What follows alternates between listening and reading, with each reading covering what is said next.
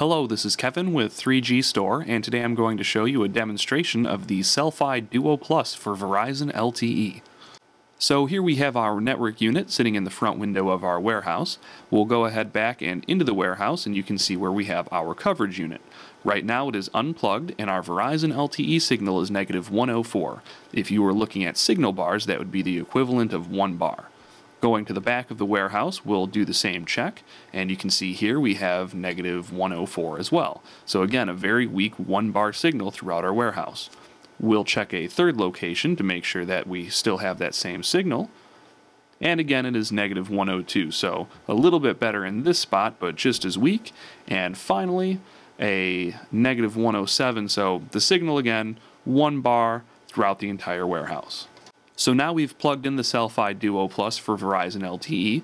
It has wirelessly paired with the network unit, and we'll check the signal strength on our phone.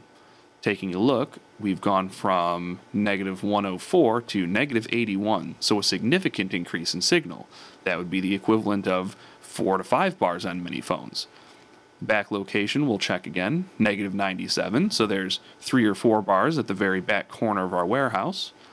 We'll check our third location, negative 97 here as well, and we'll check one more spot up front to make sure we're getting the boost we need.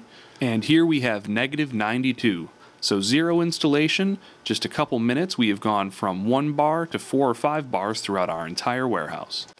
For more videos like these, be sure to subscribe to our channel, and for more information, visit 3gstore.com slash. Thank you.